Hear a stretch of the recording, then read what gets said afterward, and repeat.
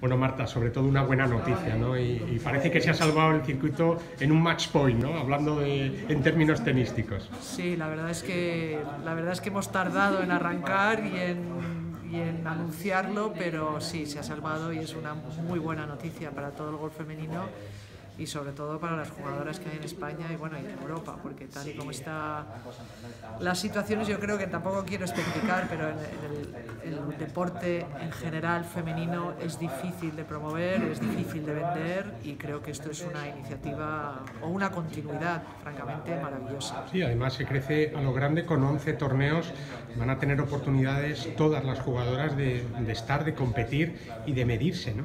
Efectivamente, ha sido difícil encontrar fechas para los 11 torneos eh, que empiezan ahora a partir de julio, pero eh, lo han conseguido, se ha conseguido. Eh, yo tengo mucha ilusión en que esto crezca y vaya creciendo más y que, y que, bueno, y que siga manteniéndose como, como ha sido durante los últimos tres años. Bueno, ¿vas a ser candidata al torneo de las leyendas o no?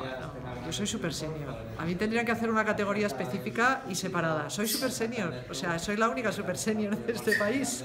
Así que, pero bueno, habrá que jugarlo, habrá que intentarlo, sobre todo por, apoyo y por diversión y por todo.